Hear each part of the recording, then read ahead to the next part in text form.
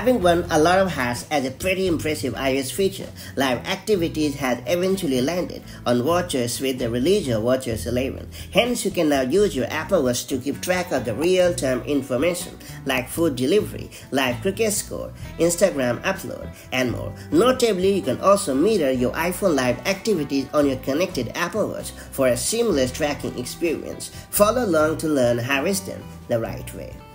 To get started, you have to ensure that the app supports mirroring live activities on your Apple Watch. To do so, you have to open the Watch app on your paired iPhone. Then you have to select General.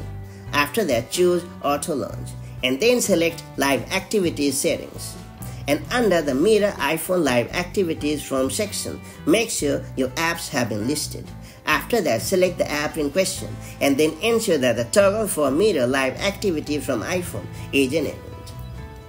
Next up, you have to enable the live activities for the app on your iPhone. For the purpose of this guide, I'm going to use the Instagram app. To get started, open the Settings app on your iPhone. Now you have to scroll down to the bottom of the screen and choose Apps.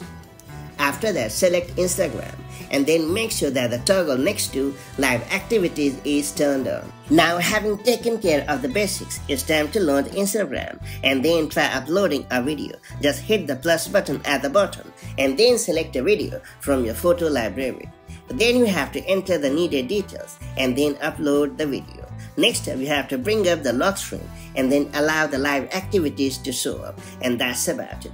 You can now keep track of the upload status right from your iPhone lock screen and also your Apple Watch.